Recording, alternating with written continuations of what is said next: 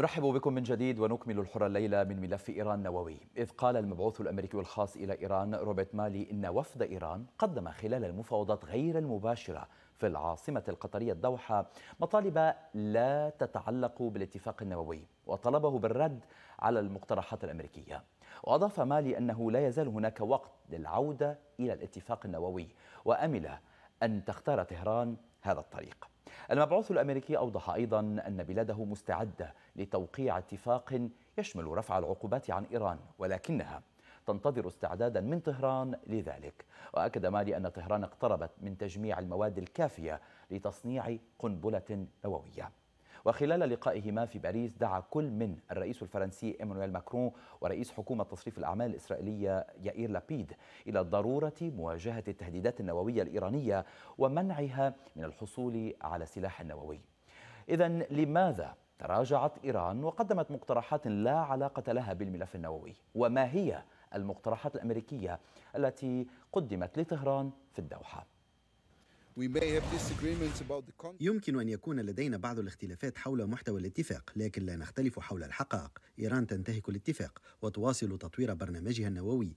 إيران تخفي معلومات عن العالم وتقوم بتخصيب اليورانيوم متجاوزة النسبة المسموحة بها وسحب الكاميرات من مواقعها النووية. وأمام كل هذا على العالم الرد. سيدي الرئيس. سنة 2018 كنت الأول الذي دعا إلى اتفاق جديد مع إيران. اتفاق أكثر جدوى وليس له تاريخ صلوحية اتفاق يتركز على ضغط دولي منسق لمنع إيران من امتلاك سلاح نووي لقد كنت على حق حينها والآن والوضع الحالي لا يمكن له أن يستمر إذ سيؤدي إلى سباق تسليح نووي في الشرق الأوسط والذي سيهدد السلام في العالم. لا يسعني سوى أن أؤكد على ضرورة العودة إلى الاتفاق النووي وإلى طاولة المفاوضات مع إيران. وفي هذا السياق نسعى لمواصلة جهود إقناع طهران بالتصرف بعقلانية وكذلك وقف أنشطتها المزعزعة للاستقرار في المنطقة. مرحلة مفصلية تمر بها المفاوضات غير المباشرة بين الولايات المتحدة الأمريكية وإيران التي استضافتها العاصمة القطرية الدوحة.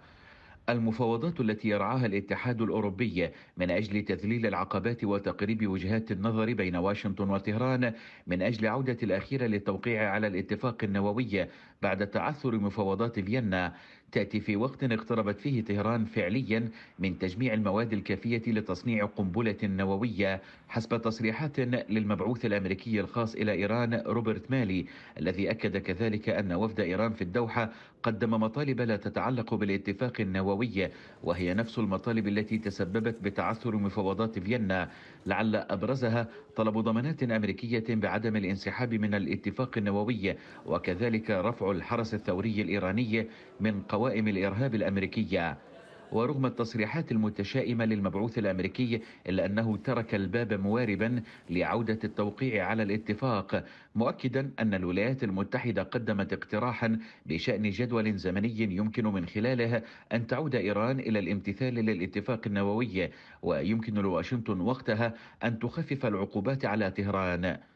ولا يزال موقف إيران من المقترحات الأمريكية ضبابيا في وقت أكدت فيه مصادر دبلوماسية أن طهران تلعب على ورقة كسب الوقت والمماطلة لتحقيق أكبر قدر ممكن من المكاسب السياسية Bonjour mesdames, messieurs. وعلى وقع تلك التطورات هيمن الملفان الإيراني واللبناني على لقاء في باريس. جمع رئيس حكومة تصريف الأعمال الإسرائيلية يائير لبيد مع الرئيس الفرنسي إيمانويل ماكرون الذي قال أنه يجب على إيران أن تكون عقلانية وأن لا تضيع فرصة التوقيع على الاتفاق. لبيد قال إنه لا اختلاف في أن إيران تخرق الاتفاق النووي وتتجاوز مستويات التخصيب المسموح بها وتواصل تطوير برامجها النووية داعيا العالم إلى مواجهة التهديدات الإيرانية والرد عليها ومنعها من حيازة سلاح نووي ونبه لبيد إلى أن المأزق النووي الإيراني الحالي سيقود إلى سباق تسلح في الشرق الأوسط كما أنه يهدد السلام العالمي مهددا باستخدام القوة إذا دعت الحاجة للحفاظ على سلام واستقرار المنطقة حسب قوله. ينضم إلينا من واشنطن أليكس فاتانكا مدير برنامج إيران في معهد الشرق الأوسط ومن طهران محمد مهدي شارع تمدار محلل سياسي إيراني والخبير في الشؤون الإيرانية والإقليمية. نبدأ معك أستاذ أليكس برأيك لماذا قدم وفد إيران في الدوحة مطالب لا تتعلق بالملف النووي الإيراني؟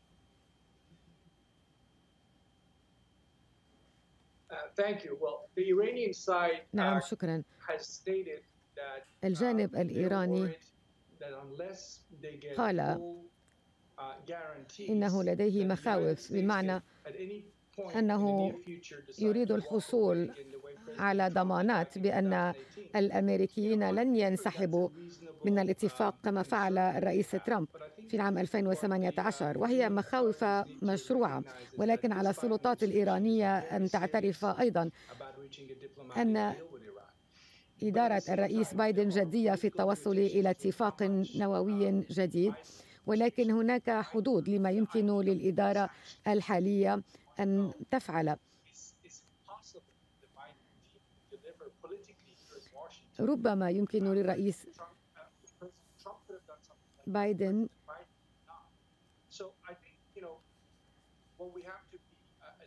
أن يرفع بعض العقوبات ولكن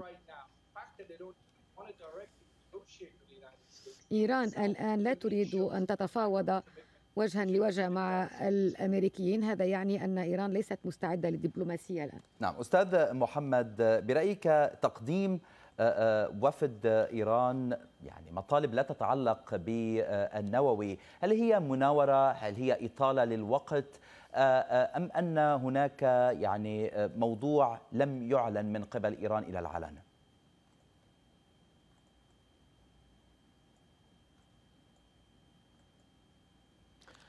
نعم بسم الله الرحمن الرحيم. تحية لك ولضيفك ولمشاهدي قناة الحرة. سؤال ما هي هذه المطالب التي قدمتها إيران ولا ترتبط بخطة العمل المشترك أو بالاتفاقية النووية؟ هل هل هل من أحد يمكن أن يجيب على هذا السؤال؟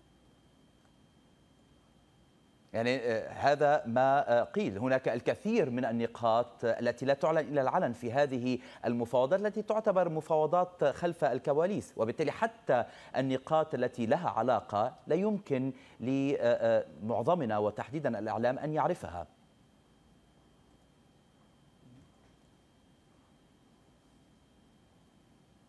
لا لا لا يمكن يعني مجرد الادعاءات لا يمكن التعويل عليها. النقطة الوحيدة التي أشار إليها ضيفك وهو مسؤول الملف الإيراني في مركز دراسات الشرق الأدنى إذا لم أخطئ في الصفة له. هي موضوع الضمانات. معهد الشرق الأوسط. من صلب موضوع الخطة خطة العمل المشترك والاتفاقية المبرمة. يعني لا يمكن أن تكون معهد الشرق الأوسط عفوا لا يمكن أن تكون هناك اتفاقية بدون ضمانات. يعني اتفاقية لا تطبق على أرض الواقع أو لا يكون لها ضمان لذلك موضوع الضمانات ليس من خارج الاتفاقية أو خطة العمل المشترك يعني أستاذ لحد الآن يعني أستاذ محمد لا يوجد أنت أي تزعم تصريح الآن أو أي حديث عن هذه الأمور المدعاة نعم. ولكن أستاذ يعني أنت تدعي أو تزعم الآن نعم. بأن المبعوث الأمريكي الخاص إلى إيران روبرت مالي قد يعني نشر معلومات كاذبة إذا أنت تقول بأن هذه المعلومات التي قدمها الوفد الإيراني هي معلومات لها علاقة. هو يقول بأنها غير ليس لها علاقة. يعني أنت يعني تتهمه بالكذب. هل هذا صحيح؟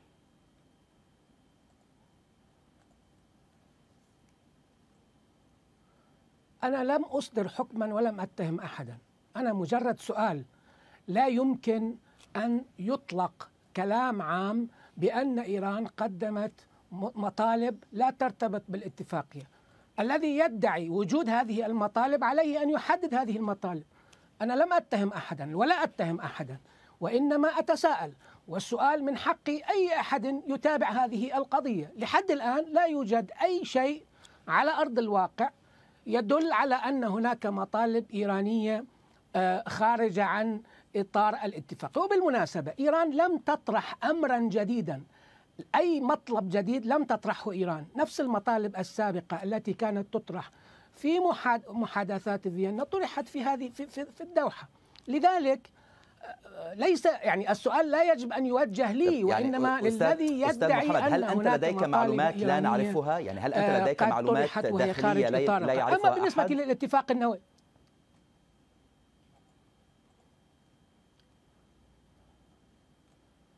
أنا الذي أعرفه أن المطالب الإيرانية هي هي. الذي يدعي أن إيران طرحت مطالب جديدة خارج إطار الاتفاقية النووية عليه أن يبرز على الأقل أن يعلن ما هي هذه المطالب حتى نفهم كيف يمكن أن نناقش امرا يعني غامضا لا أحد يعرفه. ما رأيك أستاذ أليكس بما سمعته من قبل الأستاذ محمد؟ أما بالنسبة للاتفاق النووي الجديد أنا أعلم أعلم ضيفك عفوا. عفوا. عفوا. تسمح لي؟ لا لا بالنسبة للاتفاق النووي الجديد. عفوا أستاذ محمد. لندع الأستاذ أليكس يجيب على ما تفضلت به قبل قليل ومن ثم نعود إليك مجددا. أستاذ طيب. أليكس تفضل. سنعود طيب. إليك أستاذ محمد. طيب. طيب. أنا لا أفترض أن المبعوث الخاص يقدم معلومات غير دقيقة. رب مالي أمضى سنوات يحاول التوصل إلى حل دبلوماسي. لا يمكن أن نقول إنه إما يكذب أو لا يقدم المعلومات الدقيقة. أكرر ما قلته إيران لا تريد أن تتفاوض مباشرة مع الأمريكيين. ونعرف أن هذه المسألة مهمة جدا. إيران هي التي تريد أن تحافظ على نوع من الغموض. المفاوضات المباشرة ترفع الغموض. الجمهورية الإسلامية كنظام لا تريد أن تتكلم مع الأمريكيين لأن الحوار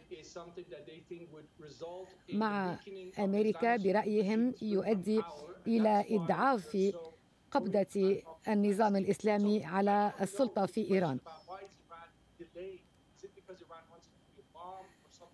أما ما تريده إيران عبر التأخير والمماطلة لست أدري ولكن أعرف أن إيران تفقد مبالغ طائلة. كل يوم من جراء العقوبات وعدم تمكنها من بيع نفسها. لننسى ما فعله الرئيس ترامب. أنا لن أدافع عن الرئيس ترامب. ولكن الآن الرئيس هو الرئيس بايدن وفريقه جدي في التعامل مع إيران على المستوى الدبلوماسي ولكن لا يبدو أن إيران جدية. نعم. أستاذ محمد كنت تريد أن تضيف شيئا. تفضل الوقت معك الآن.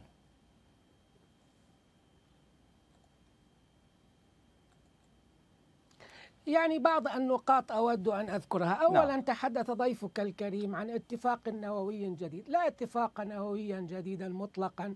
إنما هذه المحادثات هي حول خطة العمل المشتركة والاتفاقية التي أبرمت ولا تقبل إيران بإضافة أي شيء جديد بالإضافة إلى ما ورد في هذه الاتفاقية هذه النقطة الأولى.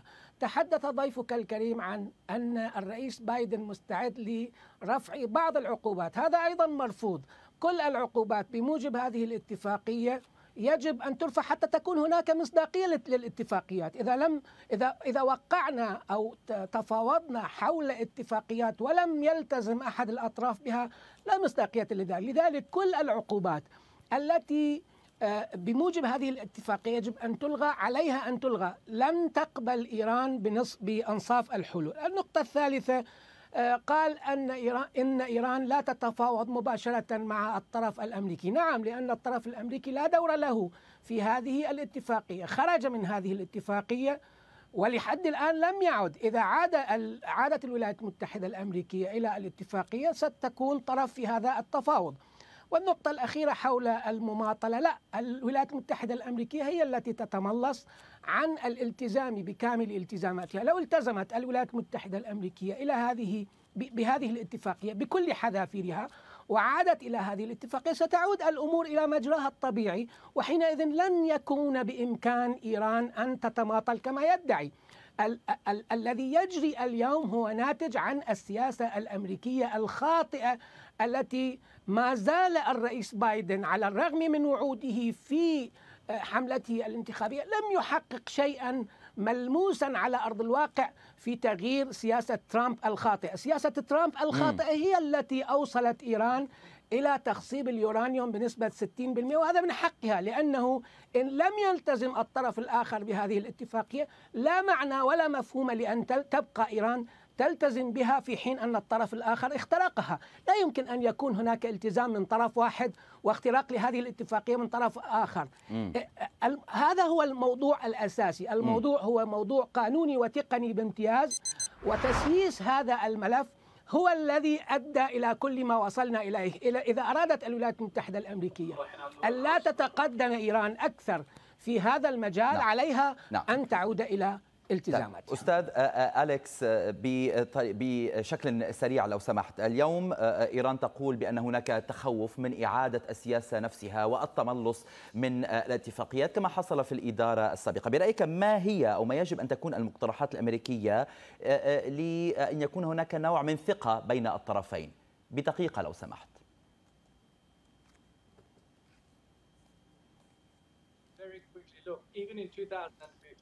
نعم حتى في العام 2015 بقت الكثير من العقوبات مفروضة على إيران. لم ترفع كل العقوبات فقط لأن أمريكا وإيران لديهما اختلافات كثيرة. أحدها الاتفاق النووي ولكن هناك انتهاكات لحقوق الإنسان وتصرفات إيران في المنطقة. وأمريكا لا يمكن أن تتخلى عن كل وسائل الضغط على إيران. بدفعة واحدة وكذلك إيران لن تتخلى عن كل وكلائها في المنطقة مرة واحدة هذا ما نراه إيران تريد أيضا أن تحافظ على أوراق ضغط نعم. هنا لدينا فرصة في التفاوض للتوصل إلى حل نعم. دبلوماسي ولكن ذلك يتطلب أن يأتي وصلت الفكرة الفريقان إلى الطاولة بجد فتن كمدير برنامج إيران في معهد الشرق الأوسط. شكرا لوجودك معنا. إضافة من طهران الأستاذ محمد مهدي شارع تمدار المحلل السياسي الإيراني والخبير في الشؤون الإيرانية والإقليمية.